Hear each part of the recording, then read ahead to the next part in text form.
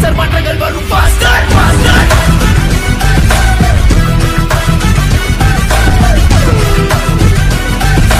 உள்ள வந்த அண்ணன் யாரு?